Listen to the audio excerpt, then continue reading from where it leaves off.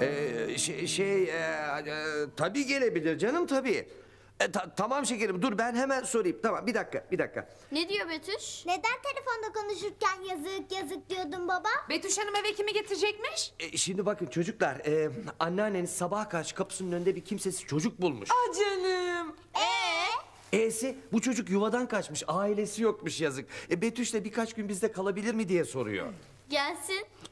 Ona arkadaşlık ederiz. Ha tamam. E, alo Betüş. E, çocuklar da Çileğin geleceğine çok sevindi. Hemen gelin bekliyoruz. Tamam bay bay. Ya çocuklar dün geceden beri ilk defa Betüş'ün sesi çok iyi geldi. Adı Çilek miymiş baba? Yaşasın, yaşasın. Sadık'ta çocuklar da dört gözle seni bekliyorlar Çilek. Ama dikkatli olmalısın. Çileğin peri olduğu anlaşılırsa zor duruma düşersin.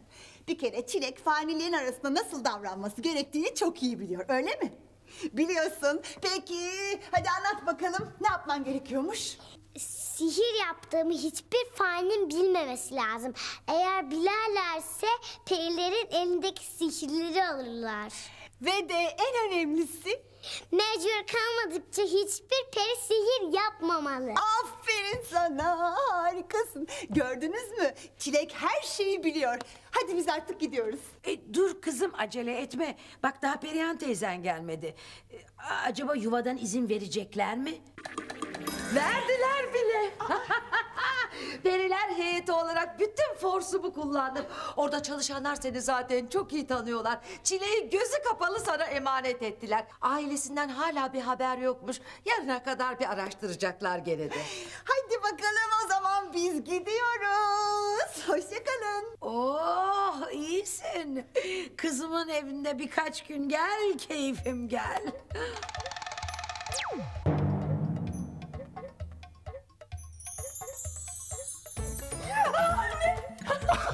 Ay küçük peri yine giderek sana yapacağını yapmış.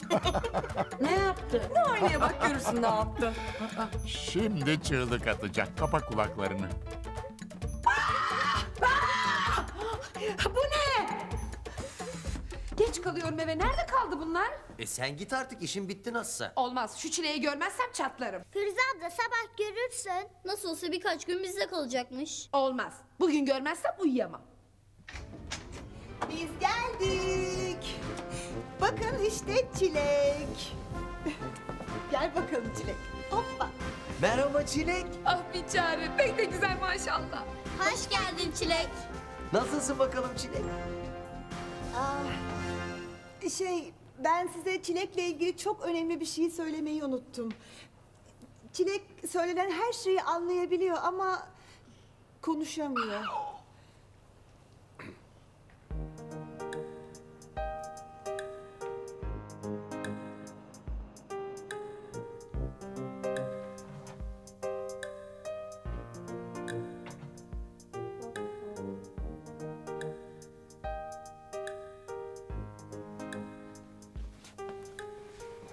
Çilek bunlar senin olsun. Al al benim daha bir sürü bebeğim var. Bunları sana hediye ediyorum.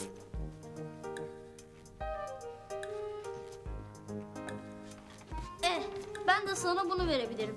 Eh, erkek oyuncağı ama bazı kızlar da seviyor. Aa, bunu daha çok sevdi. İyi ki saklamışım. Abim bu arabayı küçükken bozmasaydı çok güzel hareket ediyordu.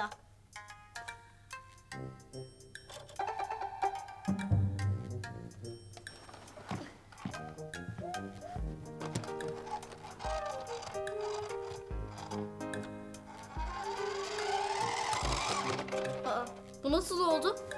Demek ki bozulmamış. Dur bakayım. Güzel de çalışıyor. Bilsem vallahi sana hediye etmezdim. Sen abime bakma. O sevdiklerine her şeyini hediye eder. Özellikle de Tuğçe'ye. Bak benden canımı iste ama borç isteme tamam mı? Tanıştırayım. Bu da var yemez amcamız. Betüş'cüm. Al kahve getirdim. Aa çok teşekkür ederim eline sağlık. Rica ederim hayatım. eh, Cem'le Ceren Çilek'le nasıl anlaştılar? çok tatlı bir kız ama. Ya çok tatlı. Ama ya keşke konuşabilseydi. Belki bir gün iyileşir. Umarım bizimkiler onu tanıyınca ne kadar şanslı çocuklar olduklarını anlamışlardır. Ya. Ama ben Çile'ye çok üzülüyorum hayatım. Ben de.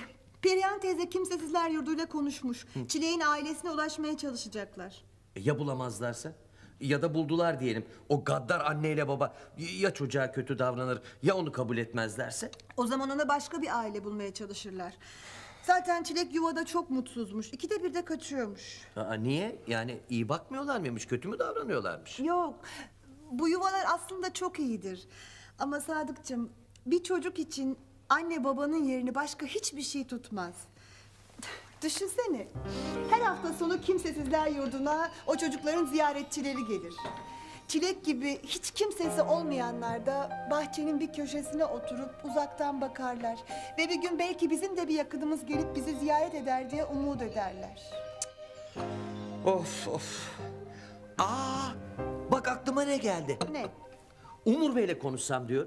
Yani bir aile bulunamazsa Çile'ye o ona evlat edinsin değil mi? Yani yaşlı, zengin sonra yalnız bir adam sevap işlemiş olur. Ay Sadıkçım ama Çile'ye çok yazık olur. E, haklısın hayatım. Ben ne diyorum ya? Ah ah Allah'a şükürler olsun.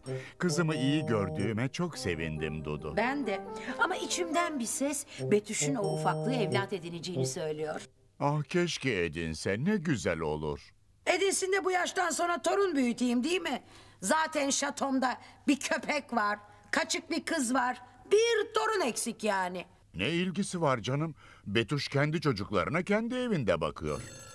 Eda, telefona bak kızım. Lütfen söyler misin? Niye trip yaptın şimdi? Taci, ben gece gündüz Betüş'ü kocasından ayırmaya çalışmıyor muyum? Çalışıyorsun. E günün birinde sihirim işe yararsa Betüş de kocasından ayrılır. Çocuk da bana kalır. Ay bu yaştan sonra torun mu büyüteceğim canım?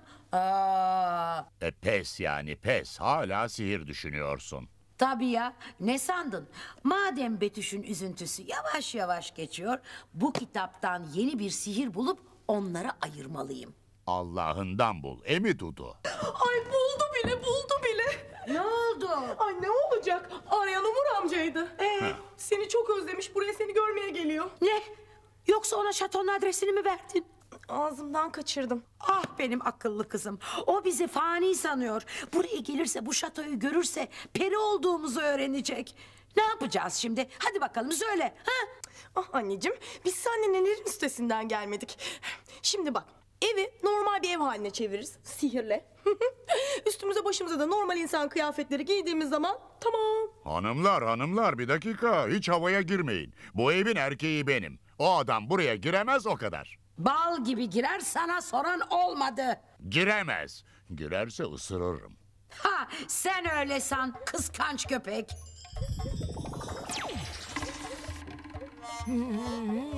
Oh olsun. Hadi Eda şatonun yolunu düzelt. Ben de buraları toparlayayım.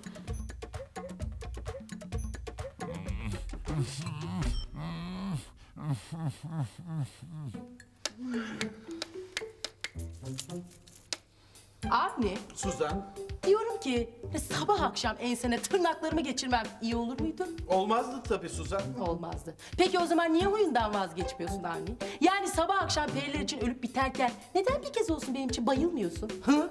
Ama Suzan niye kendini onlarla kıyaslıyorsun? Senin yerin ayrı, perilerin yeri ayrı. Demek kalbin ikiye bölündü ha? Bak Suzancığım sen beni yanlış anladın. Sana demek istediğim... Seni yanlış anlamıyorum Avni.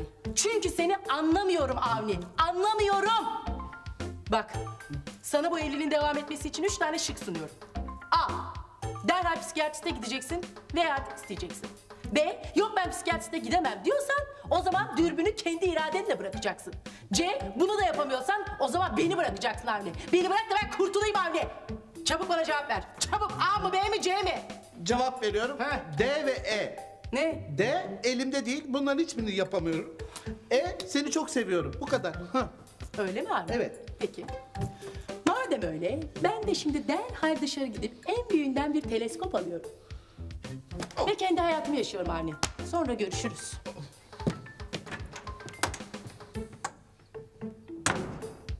Fişi almayı unutma.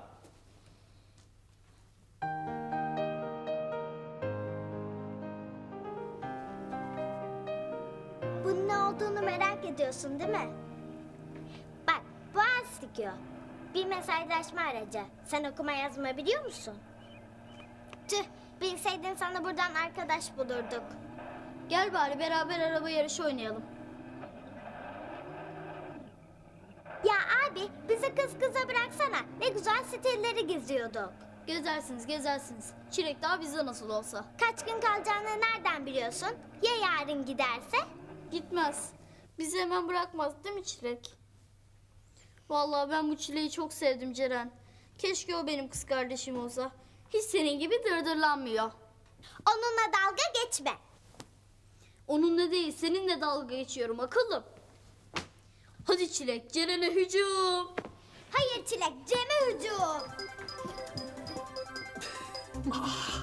Bizimkiler yine kapışmış. Üçüncü bir çocuğumuz olursa neler olabileceğini daha iyi anlıyorum. İnanamıyorum. Çilek, sen ne kadar güçlüsün. Maşallah ya. Ah, Küçücük haliyle bizim iki azmanı nasıl da dize getirmiş. Neyse biz aşağı inelim onlar oynaya dursunlar. ha? Tamam tatlım.